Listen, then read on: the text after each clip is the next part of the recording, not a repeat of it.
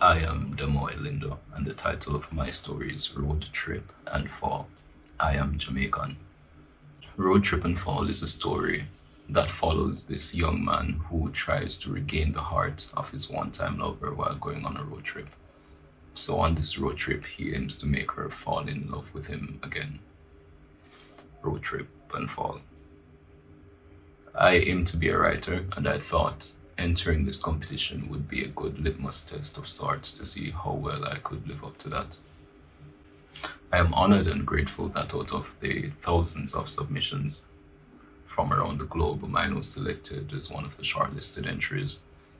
Um, I'm also privileged to represent my fellow Caribbean writers on the international stage, for I have seen some great, great short stories and some great writers as well who have been shortlisted over the years, and I'm now pleased to know, to know that I am now among that list.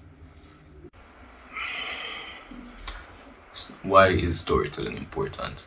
Art in general, I believe, is one of the most telling markers of a society's progression.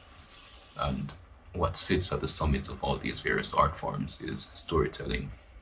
For it's a practice which has persisted for many ages and for many good reasons. For what lies at the center of all these various art forms, whether it be painting, sculpting, uh, songwriting, is the ability to transmit ideas, the ability to evoke emotions. And storytelling, I believe, is the most distilled, concentrated form in which this transmission is seen, which is, of course, critical for any civilization's existence.